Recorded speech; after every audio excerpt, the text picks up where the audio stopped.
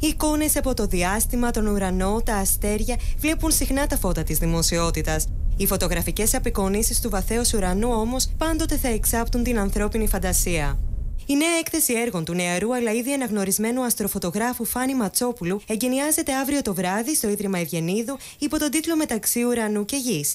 Και είναι βέβαιο ότι θα γοητεύσει τόσο τους λάτρε της αστρονομίας όσο και τους φιλότεχνους. Εικόνες αστρονομικών αντικειμένων τραβηγμένες με τηλεσκόπια συνυπάρχουν αρμονικά με νυχτερινές λήψεις τοπίων αλλά και αρχαιολογικών χώρων, πάνω από τους οποίους διακρίνονται οι αστρικές τροχές και η γαλαξιακή ζώνη, αλλά και με φωτογραφίες αστρονομικών οργάνων του Εθνικού Αστεροσκοπείου Αθηνών.